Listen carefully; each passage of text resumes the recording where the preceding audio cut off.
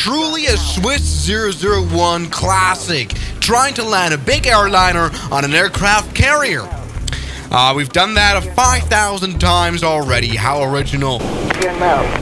Alright, shut up, aircraft carrier woman. I can handle all this. No problem. Power. Shh, you're all good. Yes! There we go, we're stopping just fine.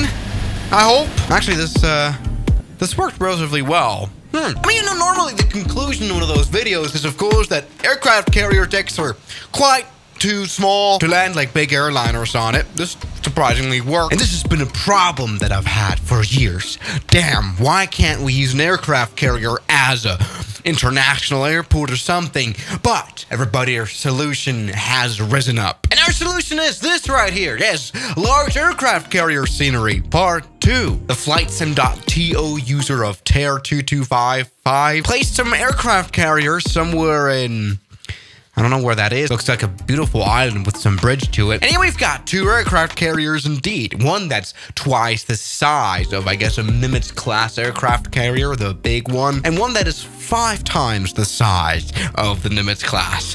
This is gonna be like a really big airport. Now, I mean, the idea of building an incredibly large aircraft carrier, larger than the ones we know of, isn't even that bad. I mean, you know, the biggest aircraft carriers are quite quite small compared to you know the biggest ships in general. Here's the Jahre Viking compared to a Nimitz class aircraft carrier.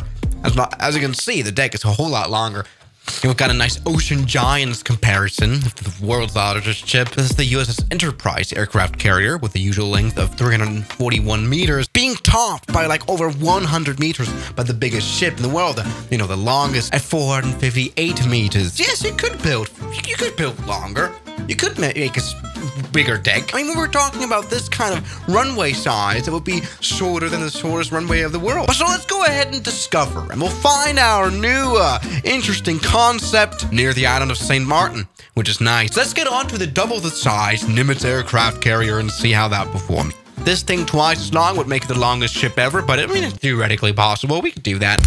All right, and so here we are. We can already see our 737 on this huge aircraft carrier, 600 meters long now, and um, several airliners on it. We've got an A320, we've got another A320, we've got another A320, and some medieval type scenery surrounding the aircraft carrier. What the? hell? I mean, we've been to St. Martin, but there was definitely not a bridge there that went into the water and not like some Machu Picchu type thing. And Hogwarts! Isn't that, is that not Hogwarts? It's a kind of mountaintop thing and what the hell? The ancient Greeks were also quite active here. I really don't know what these uh, castles and bears and this is a fever dream of a scenery, God damn it! I, I what? I really don't know why is there a Gothic church in the Caribbean? Anyway, uh. let's get back to our two times aircraft carrier. I mean, while it looks quite normal still, you know, it doesn't look crazy, this would be ginormous, like to be scarily ginormous. I mean, we all know how big a 737-8 is compared to a person. Imagine a ship this big. Oh, oh, oh. Mathematically just be like, what is it, 600 meters long, kind of measuring the runway size of St. Bartholomew, which is still a short runway. But I'm pretty sure we're going to be able to take off without any assistance of like a catapult system or anything. There we go. Brake release. Come on, let's get going. We're going full power. Full, full power. Perfect. We've got some takeoff. Shut up. Airplane. This should be doable. Oh, look, we've even got some people, uh, you know, just to compare the size. All right, there we go. Let's go and take off, which still somewhat barely possible. The problem here is definitely that the aircraft carrier isn't moving. We don't have that advantage anymore. This is very static of an aircraft carrier, which means we need to, you know, accomplish a few more knots than usual. But this is great. Now, talking about fever dream wise, there are. Uh, you know, I'm not even gonna ask any questions. This is actually the normalest thing in the scenery. Anyway, let's maybe land on the static aircraft carrier. Once again, 600 meter long runway. You know what? I mean, now that we know that we've been able to take off, we're probably going to be able to land quite realistically. All right, come on, let's do it. All right, we're a bit fast. We're on 200 knots, but that's just fine. There we go. We're good. All right, perfect. All right, stall it out. Come on. You know, perfect. That was quite hard. Let's go ahead and stop, which should be perfectly possible. There we go. We're looking good on this incredibly huge aircraft carrier. We've been able to land. This plane fits nicely on here. I'm a bit scared, though, of going bigger. I mean, this is a 787, a plane that surely won't be able to take off from here. Luckily, we've got the really big one. It is, oh my god, up the horizon. Jeez. All right, come on, let's do it. Full power. I mean, 600 meters surely it wouldn't be enough for the 7-8.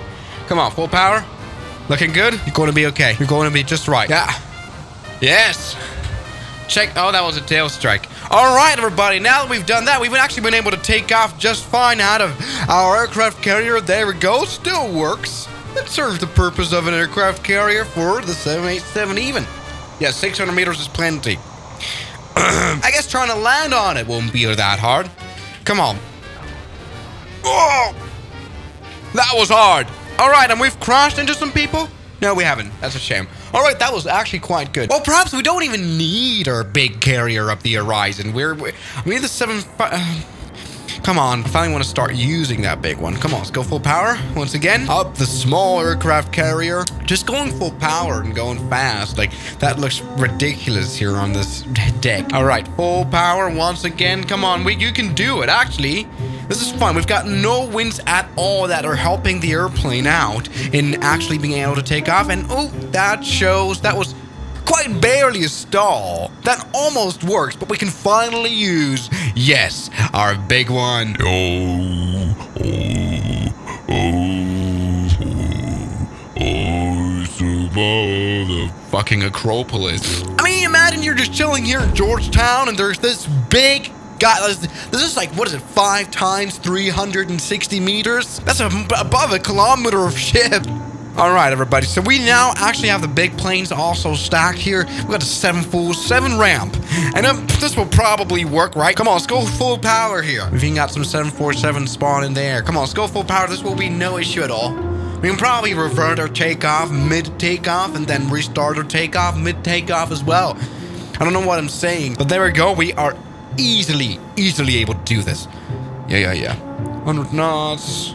No worries at all. We can probably do like an Aerosucre classic kind of move where we take off. Right now, there we go. We can already put the landing gear up. That is so cool of a move. Yes, this is just enough for uh, a 747 here.